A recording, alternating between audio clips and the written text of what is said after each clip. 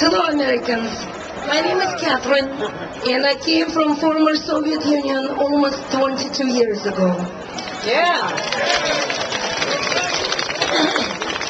We met with Sally when our kids went to Jewish school, but um, I was very disappointed how many liberal Jews that forgot about um, morality and values and uh, why their parents and grandparents came here for who survived Holocaust.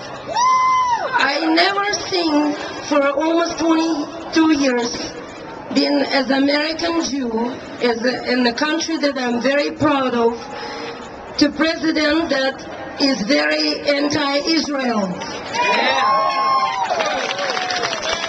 America always been friends with Israel and I want to ask a liberal Jews, Jewish Americans who voted for Barack Obama. Are you regretted?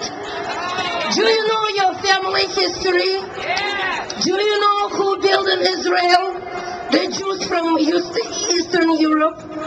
And um, I raised my daughter who gave a speech earlier about I raised my daughter to be a conservative Jew. So later, after a liberal Jewish school, I sent her to conservative Jewish Orthodox school, a Hebrew Academy in San Francisco, so she could learn a history of where all Jews came from, what the struggle they survived. So, and if the president refused to meet or support as strugglers who helped many people, not only Jews, many generations. That's why I'm here, because I am refugee from Soviet Union who discriminated Jews, the, the former government who discriminate all Jews.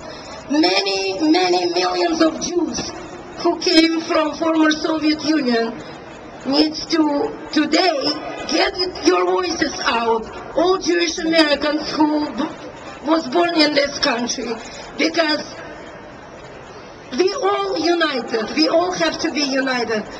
And American, and a Jewish American, I'm proud to be in this country, and I'm very sorry that this president, I will call him a racist dictator, as a my previous government from the country that I was born in.